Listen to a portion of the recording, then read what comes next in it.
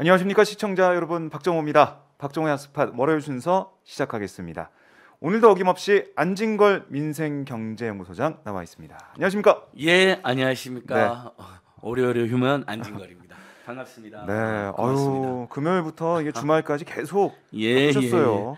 아니 뭐 동해 서해 금요일뿐만. 아니라 지난 주 내내 어 이제 제 별명 중에 하나가 네. 뭐 데모 천재가 있는데 아 데모 데모 없는 세상에 살고 있습니다만 어쩔 수 없이 네. 또 집회나 시위를 해야 될 상황이 됐습니다. 네. 예, 아직도 음. 많은 분들이 뉴스를 안 보시고 음, 슬픔과 좌절 속에 살고 그렇죠. 계시지만 그래도 어 제가 계속 지난주 지난 말씀드렸잖아요. 네. 민주당은 더욱더 쇄신하고 또 진보 정당들도 분발하고 그 다음에 윤석열 집단 인수위 집단이 하는 이상한 짓 나쁜 짓은 막아내고 음, 그다음에 우리 시민들도 스스로 힘을 키우고 청년단체, 여성단체, 시민단체 더 만들고 유튜브 더 만들고 유튜브 더 키우고 네. 이렇게 세 박자로 음, 어, 저희가 이 전국을 돌파해 나갈 수밖에 없다. 네. 우리가 살아가는 대한민국이 어, 잘못된 집권자 하나 때문에 망하게 할 수는 없잖아요. 어, 도울 김용옥 선생님처럼 일단 윤석열 집단이 당선됐으니까 망해라고 하기보단 잘해라고 잘할 것을 촉구하고 호소하고 당부하는데 너무 이상한 짓을 한다. 그러면 네. 선거 결과는 존중하지만 민심은 그 그를 선택한 민심은 존중하지만 나쁜 짓을 존중할 수는 없잖아요. 네. 나쁜 정책을 존중할 수 없잖아요. 행동에 나서야 되는 것이죠. 자, 그래서 계속해서 이제 주말에 촛불 집회가 이어지고 있고 또 평일에도 여러 가지 기자회견이 있는데 눈에 띄는 게 이제 금요일에 있었던 네. 서초 아크로비스타 앞에 예. 기자회견. 이거는 어떤 기자회견이었나요? 아, 뭐 이거죠. 네. 김건희를 수사하라. 어. 기업가 전환 촛불 행동. 사실 수사는 한지는 오래됐어요. 음. 정확히는 김건희를 기소하라. 엄벌하라 돼야 되는 거죠. 네. 근데 수사를 하는 척하다가 수사를 제대로 안 하고 소환도 안 하고 있으니까 음. 시민들이 열받는 거잖아요.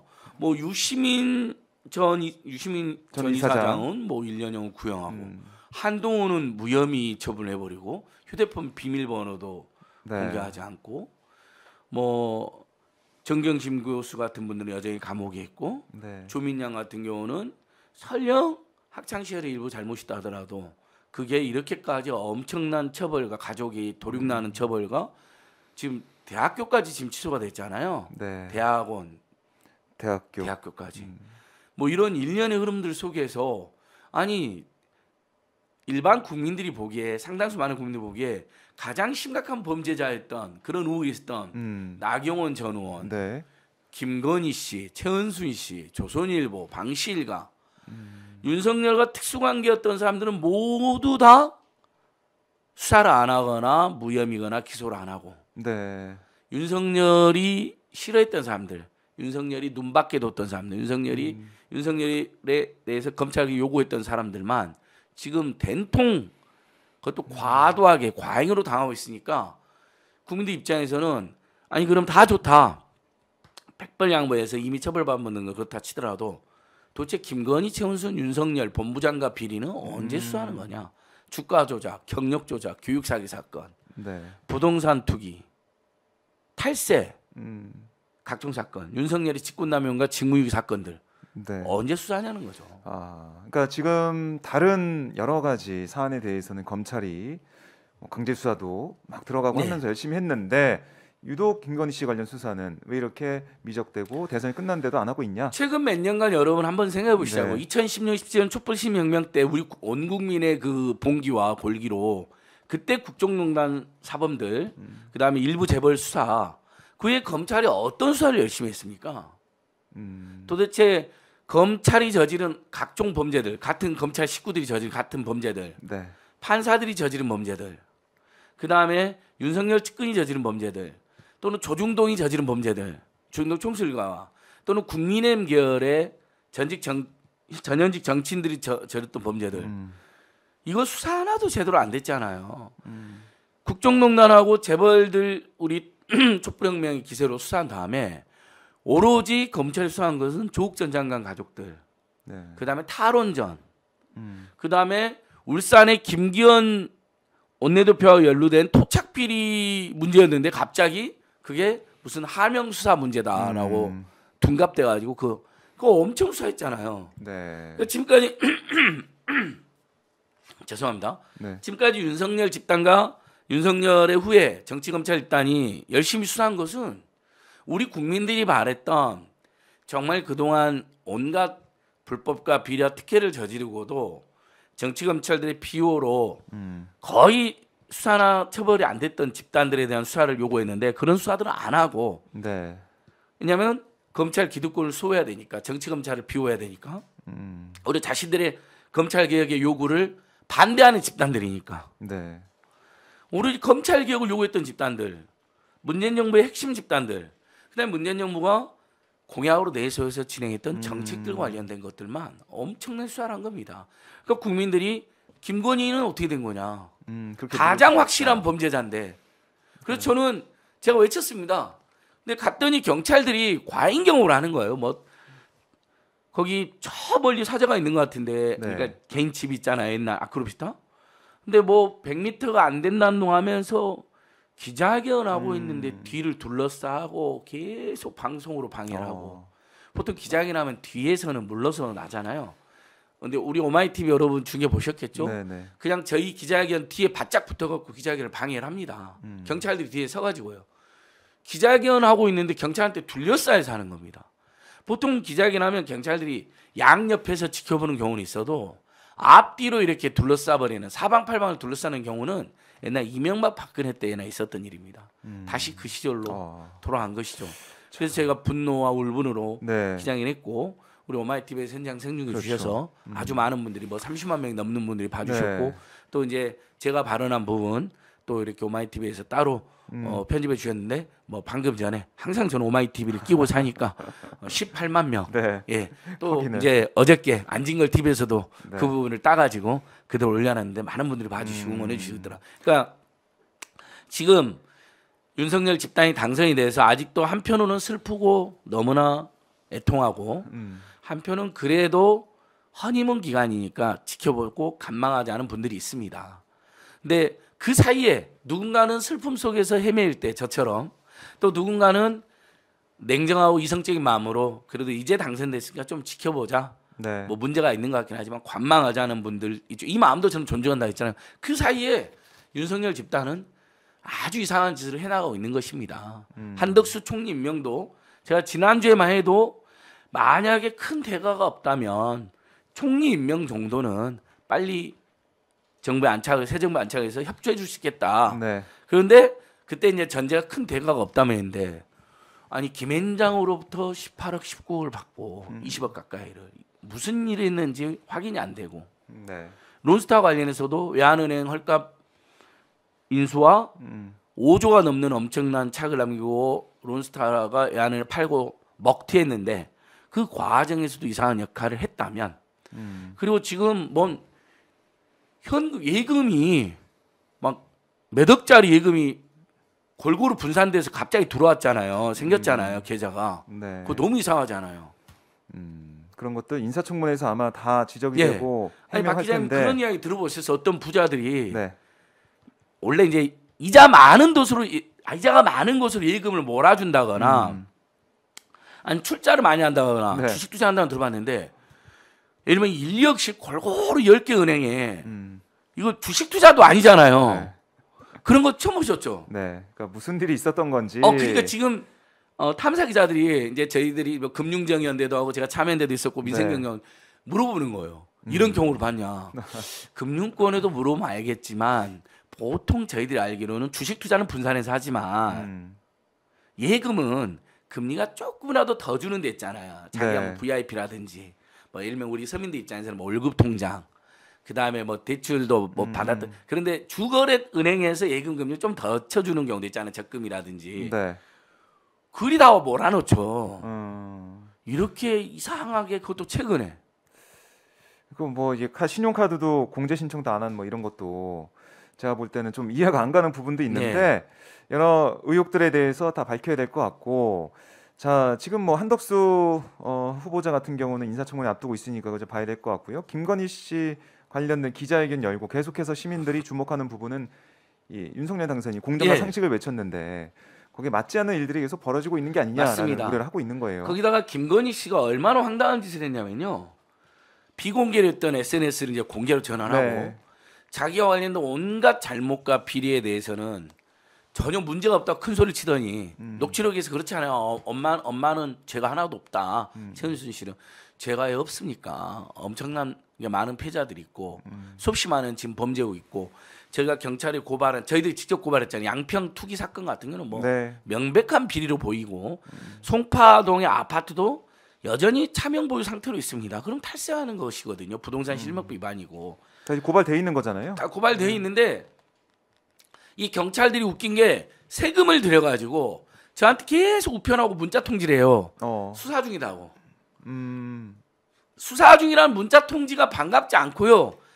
기소견으로 송치했다는 문자 통지를 보내야죠 빨리. 아, 수사하고 아니 있다고만 예 하는군요. 부동산 투기하고 김건희 최은순 윤석열 집단의 부동산 투기와 교육 사기 경력 사기 주가 조작은 거의 보수층에서도 거의 인정하는 분들이 많을 정도로 네. 거의 그냥 뭐 의혹 정도가 아니라 음. 불법이 거의 확실해 보이는 단계까지 증거나 정황이 공개가 되었습니다. 확보가 됐습니다. 음. 아직까지도 기소 안 한다는 건 말이 안 됩니다. 그랬던 네. 그러니까 일종의 중대 범죄자죠. 의혹이죠. 김건희 씨가.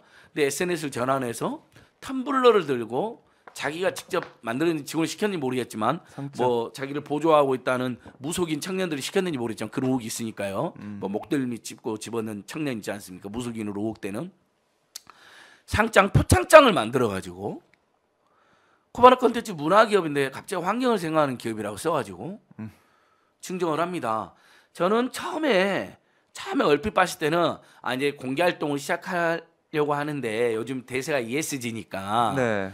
뭐냐 환경에 대해서 관심 그다음에 뭐 동물권 이미 올려놨잖아요. 그러니까 음. 요즘 ESG하고 동물권이 대세잖아요. 우리 국민들도 그렇고 기업들도 그래서 일종의 이제 국민들의 친근하게 다가서기 위한 뭐 경찰기관한테 의도적으로 접근해가지고 사진을 흘린 것처럼 경찰관 만져서는 안 되는데 만지는 황당한 일을 하면서도 뭐가 뭔지도 모르는 거죠.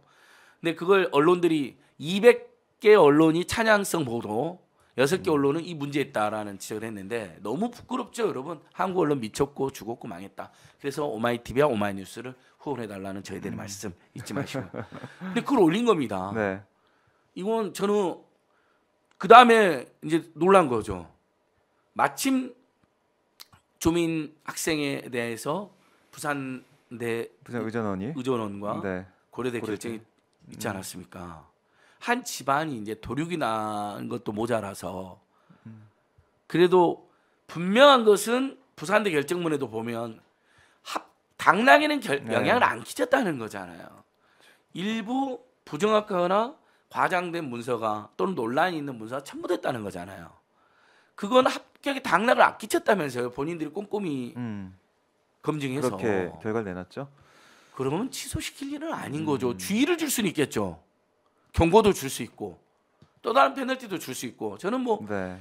100번 양보해서 그런 팩트가 일부 확인된 부분에 대해서는 음. 조국 전 장관도 사과하기도 했으니까 주의 줄 수 있다고 봅니다. 그리고 네. 예를 들면 그런 입시 호강을 강화해 가지고 앞으로는 음. 어, 더 엄정하게 이런 경우에도 합격에 당락 끼치지 않는 경우다 하더라도 어, 사회적으로 무리가 되기 때문에 뭐 더 엄정한 조치 취할 수 있겠다. 이럴 수 있다고 봐요. 음. 근데 소급해서 취소시켜 버렸잖아요. 네.